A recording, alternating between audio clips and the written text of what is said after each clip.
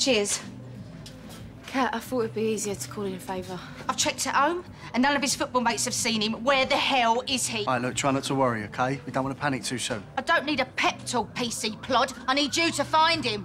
That's the plan, Kat. I just need a bit more info before I radio this in. Now, this person that he's been talking to, do you know anything about him? Anything at all that can give us something to go on? As soon as I found out he was chatting to this stranger, I banned everything, so he's not going to tell me anything, is he? This ain't your fault, Kat. I mean, did Tommy mention where they lived?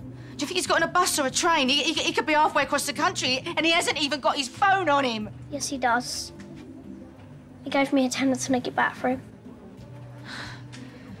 I took it from him to keep him safe. Right, that's enough, Kat. Lexi, has he ever said anything else about who he might be talking to? Oi, oi, listen. Lex, don't get upset. All right, but if you know anything, you've got to tell me, OK? All right. Good girl. He could be miles away. He could be at the other end of the country by dinner time. He could be involved in drugs, in gangs, anything. How can I be so stupid? We're shut. I need to send these back today, otherwise they're going to charge me. I couldn't care less. My Tommy's gone missing.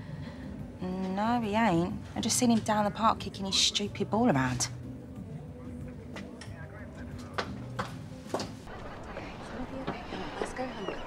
Tommy! What are you playing at? Right, you and me are going home and you're going to tell me everything, right? And you are not going behind my back again, do you hear me? Let me guess. She crossed on me again. She had no choice. Please don't tell Dad. He says snitches get stitches. I, I think we can keep this one between us. Listen, don't go running off again, all right? You had your mum worried sick. Come on, you.